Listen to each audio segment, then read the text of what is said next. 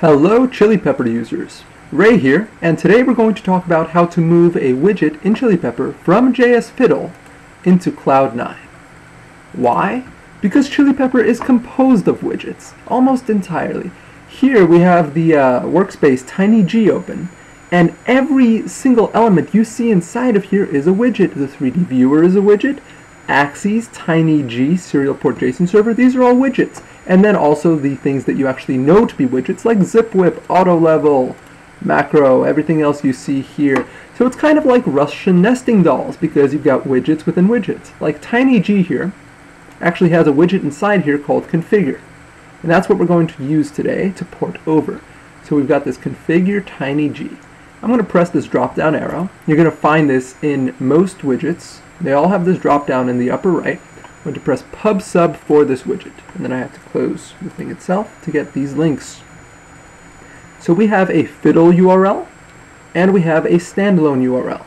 And if I press the fiddle URL, I'm going to end up here in JSFiddle, where we have, you know, the uh, HTML in the uh, upper left, followed by the CSS, JavaScript in the lower left, and then this fourth uh, preview here. I'm going to have to rerun it right now. This fourth box here is a preview of the widget itself. Now, if you take this link and you add to the end of it, slash show slash light, you get a full page preview. And this is how ChiliPeppr has been working up until now, and still kind of does this, where it takes this full page preview and then squeezes it inside a tiny little div in here. And this is how we do this. And then TinyG widget can load up the configure TinyG widget, and we get widgets within widgets, Inception, Russian nesting dolls, take your cultural re reference pick. So let's get started. So, I have the JSFiddle, and I am going to make a GitHub repository for this particular widget. Now, I actually had John make an empty one for me just so we can stay consistent with the fact that this began with ChiliPeppr, and then I forked it. But you'd be just be making your own repository.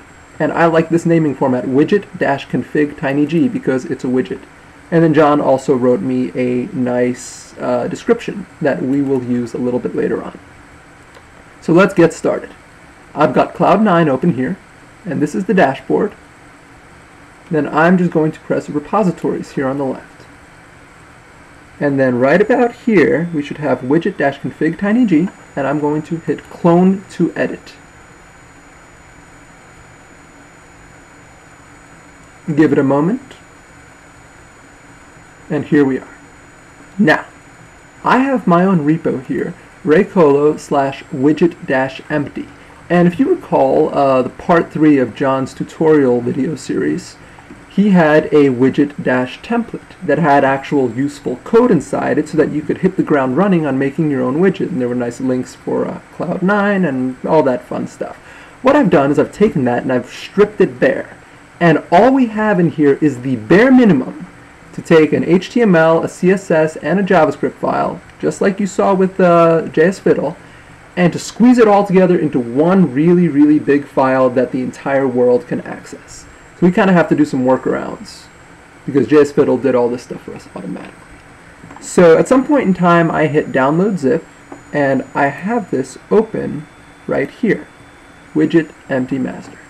So let me go into Cloud9, hit File, upload local files. Open this folder up. And voila, we're going to drag it in. Yep, we have one, two, three, four files. Now to make it look like Fiddle, I'm going to press View, Layout, Cross Split, and now I have our quadrangle grid here. Quadrangle is not the right word, but I like saying it, so there we go. And I'm going to drag HTML into the uh, upper left, followed by CSS to the right, JavaScript at the bottom. And then when we go to open our preview, we will do that in this fourth box here.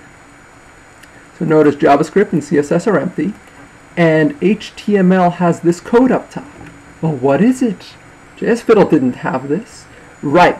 This is how we get around not being able to use JSFiddle anymore because we wanted GitHub backing and we wanted just nice control of what we did. And Cloud9 is a wonderful editor. So don't touch this because this is how your code gets compiled. You remove something, you move something, it'll fail. But here in the body, we have what I need to do. So I'm going to go into Fiddle and I'm going to select all of the HTML code. I'm going to copy it over. That's it. Now I'm going to highlight from the lower body tag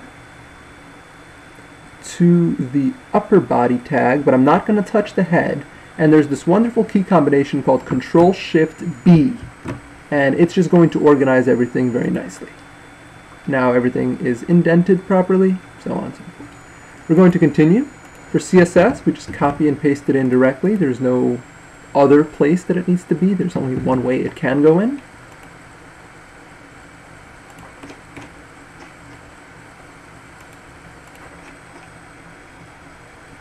I'll have to verify if this is an extraneous uh, brace here at some point in time later. JavaScript.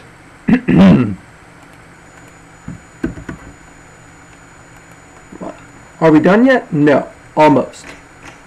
So in JavaScript, we have this section here inside CP define. These are properties. So the ID of the widget, this has to be unique. The URLs, so this is what we want to change momentarily because we're not going to be in Fiddle anymore. And we have runme.js, which is a uh, Node.js server, and it can actually auto-populate these for you. So we'll do that in a moment. And I want to change the description because this is outdated a little bit, and John wrote a nicer one. So, there we go. Copy that. Then I can paste that in here. And just note that it starts with a quote it ends with a quote, and then there's a comma. So we've got that done. And now I have these four things here that I'm going to copy over, and I will put these in the README of the uh, widget empty repository, just so that you have them, but then no, don't copy over the README file, because you'll have an additional file called readme.md. Copy these over. I'm going to select fiddle URL and URL. I'm going to remove them and then I am going to paste these in. And notice that there's no JSFiddle references here, but there's also no GitHub or Cloud9 references here. This is all going to be done automatically. All we have to do is right-click on runme.js and hit run.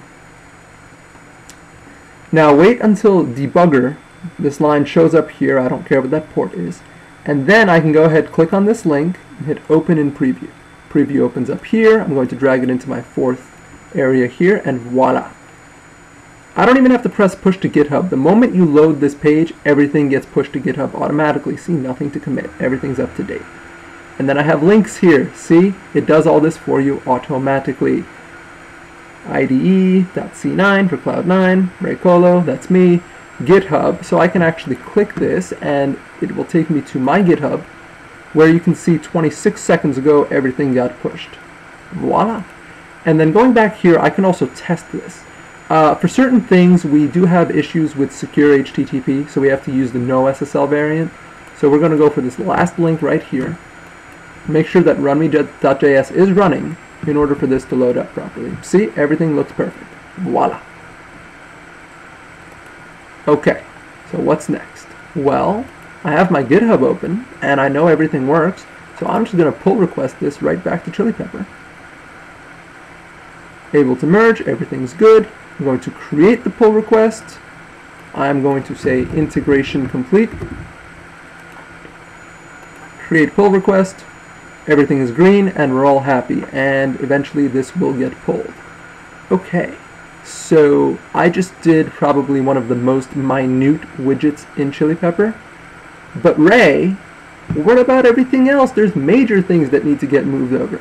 Yeah, they do. So check this out over the last three days, I've been, you know, not sleeping until maybe like 3 in the morning because config tinygr, WCS, tinygr, widget console, G-code list, so on and so forth. Touch plate, ShuttleXpress, JS Cut, GPIO, SPJS, laser solder, programmer, Eagle, so on and so forth. Auto level, Zipwhip, drag drop. Short story, this is now the 20th widget that I have moved over to GitHub. And check this out, we also have the entire TinyG workspace running. So check this out. I'm going to rerun runme.js.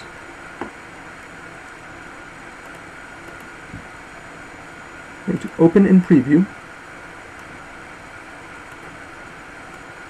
And once again, I want this test URL no SSL. I click this, I have it open here. I'm going to refresh and note the URL. The entire TinyG workspace is now running based off of Cloud9 and it's all sitting in GitHub and we'll be able to move this over soon. Just to show you, well, you know what, I like to drag in a board at sometimes, but I'm just going to open up widgets right now. So Zipwhip works, auto level works, macro works, actually going to load up a G-code file, the ChiliPeppr logo, voila. And here I have development open. So console developer tools, I've done some trickery to make this always the window on top. And as I'm doing this, you should be able to see there's no errors. I have it filtering for errors right now. This is all of the information. These are all the things that is happening, but no errors. So we're actually doing pretty well. Voila. Thank you for watching. I will put links in the description for the uh, widget-empty and I will host this somewhere else so that you guys can actually test out the TinyG workspace for me and let me know if everything's working as you need it to. Thanks for watching. Later.